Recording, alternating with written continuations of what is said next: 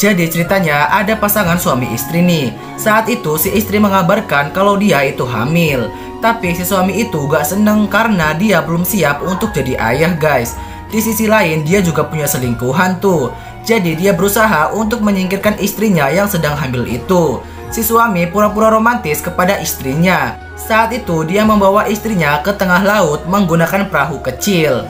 Dan ketika sudah di tengah laut, perut si istri merasakan sakit guys. Ketika si istri ingin menelpon bantuan, tapi HP-nya malah dibuang si suami.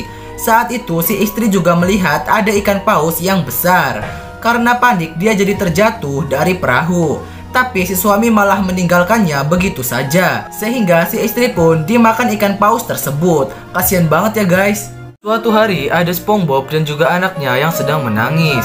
SpongeBob ditinggal istrinya karena dia miskin dan gak ada duit. Dan akhirnya dia bekerja sama dengan Patrick untuk merampok bank. Di hari itu mereka merampok bank yang di mana pegawainya adalah Pearl. Mereka pun akhirnya mendapatkan banyak uang tapi ternyata misi mereka gagal. Karena saat itu polisi datang dan dikomandani oleh Squidward.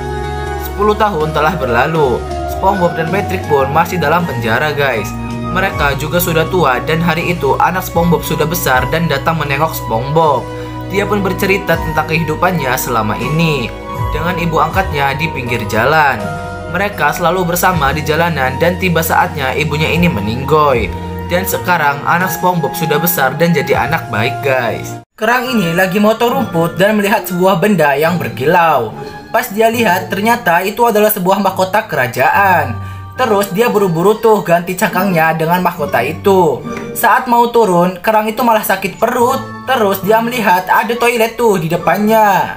Pas dia mau masuk, ternyata cangkangnya itu gak muat guys. Tapi karena gak tahan lagi, si kerang pun membiarkan cangkangnya itu di luar. Tapi ada kerang lain yang melihat dan langsung membawanya pergi tuh. Pas si kerang ini keluar, terus dia malah diketawain dong. Dan akhirnya dia pun membawa toilet ini sebagai cangkangnya. Ada cewek dan cowok sedang naik tebing guys. Terus tiba-tiba si cowok terjatuh. Tapi untungnya si cewek pegang tangannya si cowok guys. Dan mereka saling bergelantungan gini. Semakin lama pegangan tangan pun semakin kendor nih. Beruntung di situ ada helikopter guys. Dan helikopter itu menurunkan tangga Dan hendak selamatin cowok terlebih dahulu kan? Eh tapi si cewek malah lepasin pegangannya Dan segera naik ke helikopter Sehingga si cowok jadi terjatuh guys Suatu hari ada meteor yang mau jatuh ke bumi guys. Dan ada salah satu orang yang melihat meteor itu dan dia beritahukan ke semua orang. Di gedung ini ada orang-orang yang sedang mengantri guys. Terus mereka kaget melihat meteor jatuh sehingga memancing rasa penasaran si bapak ini guys. Si bapak ini pun melihat dan membuka bajunya tuh. Ternyata bapak ini adalah Superman. Akhirnya orang-orang pun pada senang tuh karena mereka mengira bakal diselamatin kan Terus si Superman pun berkemas tuh dan bukannya selamatin orang-orang, eh dia malah pergi sendiri dari bumi. Dan seketika bumi pun hancur tuh dihajar meteor. Tapi si Superman malah gak merasa bersalah gini. Dasar Superman gak ada akhlak. Suatu hari ada dua ekor kura-kura dan satu ekor katak sedang berduduk santai guys. Terus tiba-tiba datang satu ekor kura-kura dan dia langsung tendang si katak itu guys.